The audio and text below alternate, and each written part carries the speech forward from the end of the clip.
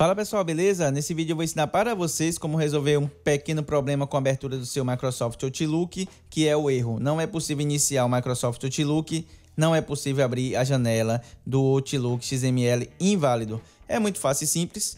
O comando que vou deixar aí na descrição, é, vocês podem dar um bandeira do Windows R para abrir o executar, ou então simplesmente apertar a bandeira do Windows e digitar o seguinte comando, outlook .exe espaço barra reset nav pen.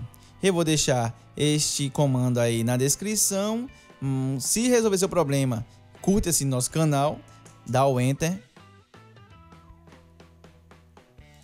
Vocês vão ver que seu Outlook vai refazer algumas configurações e vai funcionar normalmente. Caso não funcione, reinicie sua máquina, tente dar o comando novamente que eu sei que vai funcionar caso seja este mesmo erro. É isso aí, se você gostou do nosso vídeo, curte assim no nosso canal, muito obrigado por sua audiência e até a próxima.